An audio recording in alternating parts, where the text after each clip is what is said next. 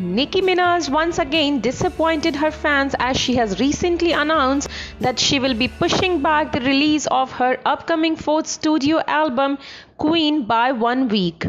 It was reported that Chun-Li rapper originally intended to release her most anticipated album Queen on June 15, but later she decided to delay it due to her perfectionism. Previously, the 35-year-old songstress has pushed the record back to August 10th and now it looks like fans have to wait bit more as the album will now release a week later on August 17th. The delay was confirmed by a note she wrote on her Apple Music Takeover playlist, which concluded, Can't wait for you guys to hear my fourth album, Queens, on August 17th.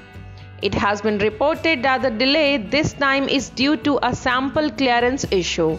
Minaj is seeking permission from Tracy Chapman to include a sample of one of her song on the album and tweeted few days back asking the musician can you please hit me as per Billboard.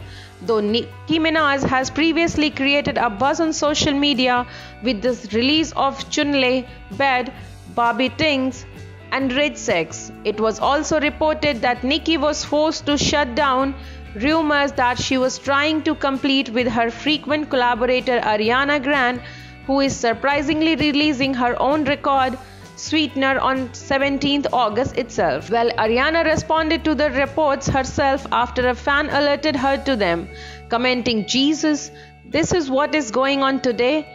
Emma, just stop logging in at all Lamphao. This is my sister. She's clearing a sample. By the stream, Queen and Sweetener August 17 by. These numbers don't mean as much the artists as they do you all.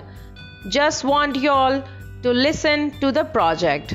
Well, now we are quite excited for Ariana and Nicki and it's just a week time guys. So stay tuned and stay hooked with Hollywood Pulse for such great stories.